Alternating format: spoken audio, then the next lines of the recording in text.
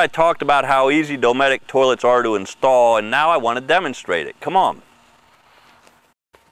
Today we're going to upgrade the toilet in my vintage travel trailer restoration project. The first step is to turn off the water supply going to the toilet. Next, we'll remove and drain the water supply line. Now you can remove the toilet hold down bolts and remove the toilet from the floor.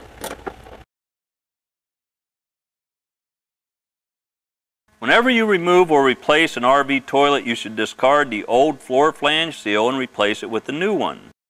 We want to verify the center of the floor flange is at least 10 inches from the back of the wall for the Dometic toilet we're installing. Make sure the top surface of the floor flange is clean and free of any debris or sealant. Insert the two supplied T-bolts into slots in the floor flange. Verify that the floor flange seal is installed on the base of the toilet and carefully set the toilet over the floor flange, aligning the holes in the toilet base with the T-bolts as the toilet is lowered onto the floor flange. The toilet base does not rest completely on the floor yet.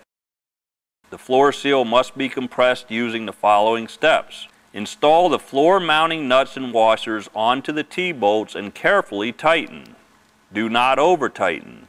Alternate between sides when tightening to prevent distortion of the toilet base. When tight, the base should be securely attached and flat against the floor. Attach the bolt covers onto the nuts. Connect the water supply line and turn the water on. Flush the toilet several times and check for any leaks.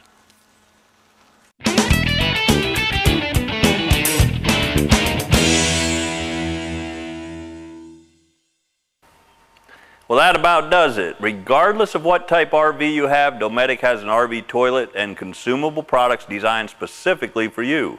To learn more about RV toilets and holding tank treatments, take a minute to visit www.dometic.com. Happy camping.